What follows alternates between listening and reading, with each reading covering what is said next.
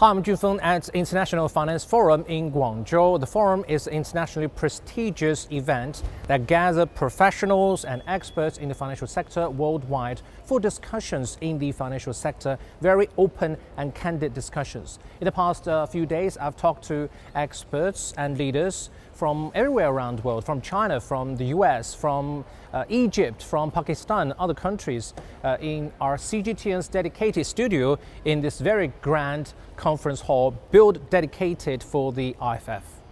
In a few moments in this morning, I'll be hosting a session, a roundtable forum with several guests in the financial sector to discuss China's uh, new economic development, innovation, and prospects of private sectors. Private sectors uh, one of the biggest challenges is the financing for them. It's always been a huge challenge for Chinese private companies, especially small ones, to get enough loans. At IFF, I can find out that finance can really do a lot of good things, eliminating poverty, improving people's livelihood, supporting uh, those uh, infrastructure projects, and help with medical facilities, help with education facilities.